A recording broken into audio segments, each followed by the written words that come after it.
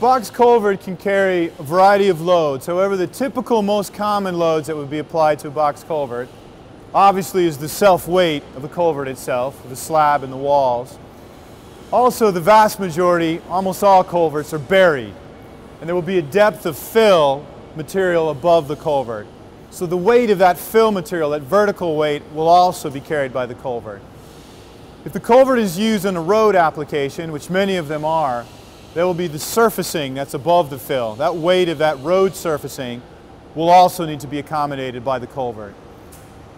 Finally, the other vertical load that is picked up by the top slab of the culvert initially is any live loads. So if we're dealing with a road application, that would be vehicular loading, wheel loads. Those wheel loads, those concentrated wheel loads, are dispersed through the depth of the fill to be applied to the top face, the top slab of the culvert.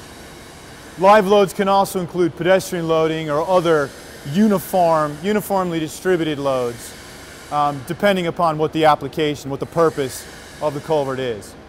Now, again, because culverts are buried, we will also get earth pressure applied to the side walls. So earth pressure is oriented horizontally. It applies a horizontal pressure to the side walls that increases as we move down the depth of the wall.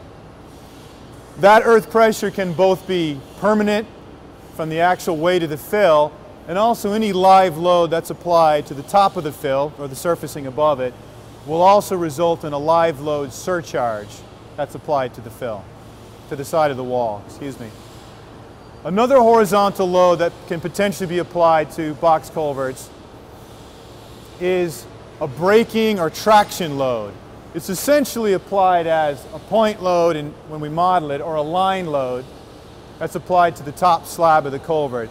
It's a result of a vehicle hitting its brakes or accelerating, braking or traction, and it can be quite a substantial load, horizontal load applied to the top slab of the culvert. Those are the essential fundamental ones. There are other ones, temperature loading that we can consider. Um, there could be uh, water pressure internal as well too if water is passing through the culvert. That hydrostatic pressure of the water will also apply a pressure to, to the walls themselves. If the outside fill, if the fill on the outside of the culvert walls is not effectively drained, we can also have hydrostatic loading applied inward to the walls as well.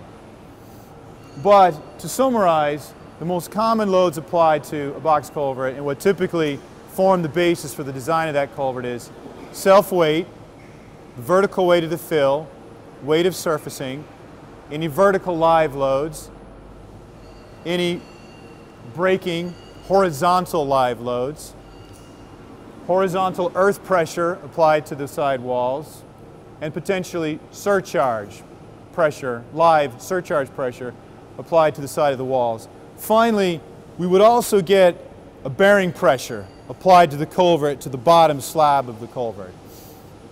That bearing pressure is a direct result of all those vertical loads that are applied to the top slab and the self-weight as well. Generally speaking, we don't directly uh, quantify the bearing pressure and apply it as a separate load case. Typically, the bearing pressure would be modeled using linear elastic springs that would be used in a model of the culvert along the bottom slab. Those linear elastic springs, as the vertical load transferred down through the wall of the culvert into the slab is applied, those vertical springs will react. They'll apply that reaction force, that bearing pressure force on the underside.